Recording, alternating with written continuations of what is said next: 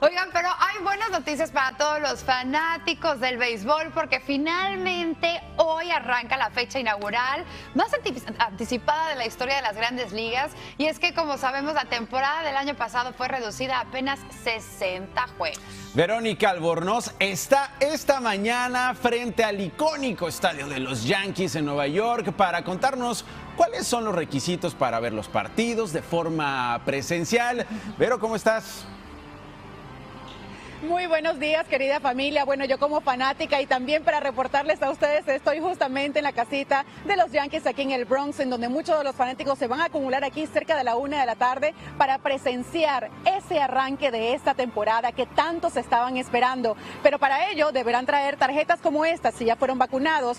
De lo contrario, no van a poder entrar. Pero también hay otros requisitos de este nuevo normal, un protocolo para resguardar a las personas en esta pandemia.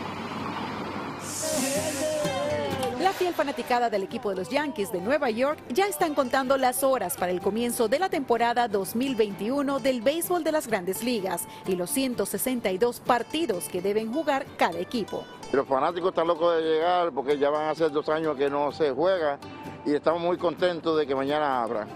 Pero este año y a causa de la pandemia, la capacidad máxima del estadio estará inicialmente limitada a solo un 20% del total, siguiendo la orden del gobernador Cuomo. Las pocas entradas disponibles se venden solo por internet y al llegar al estadio el público deberá usar mascarillas, guardar distancia social y presentar su boleta de vacunación o una prueba negativa de COVID. Sumamente contento de poder otra vez regresar al estadio a ver lo que tanto uno anhela, que es el béisbol. Eh, como te dije, soy yankee desde pequeño y el destino me trajo a vivir al lado del yankee. Con los nuevos protocolos de salud, un sondeo nacional de deportes de la Universidad de Maryland hecho a 1.500 adultos reflejó lo siguiente. Un 66% dicen que se sentirán cómodos asistiendo en persona a un evento deportivo al aire libre como el béisbol. Un 32% de adultos opinan sentirse seguros asistiendo a un evento deportivo bajo techo como el baloncesto. Otra medición indica que el 64% de las personas dicen sentirse cómodos si todos tuvieran máscaras en comparación con el 22% que dicen sentirse cómodos si no hubiera el requisito de las máscaras. Mientras tanto, en la costa oeste, los padres de San Diego, los angelinos de Los Ángeles y los atléticos de Oakland también volverán a abrir las puertas de sus estadios a sus respectivas fanaticadas.